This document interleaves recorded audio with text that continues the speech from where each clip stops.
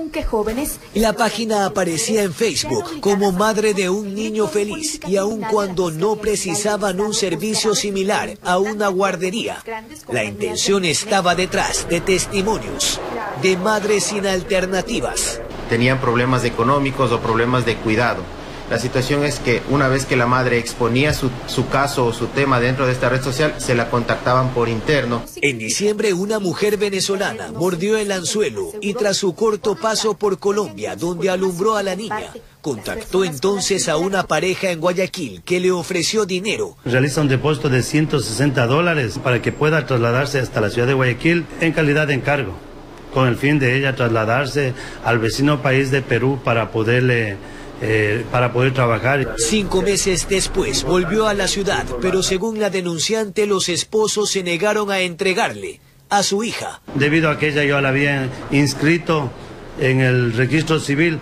a nombre de esta pareja. Luego presentó la denuncia en Dinapén y en cuestión de 48 horas la localizaron en una vivienda ubicada en Cristo del Consuelo.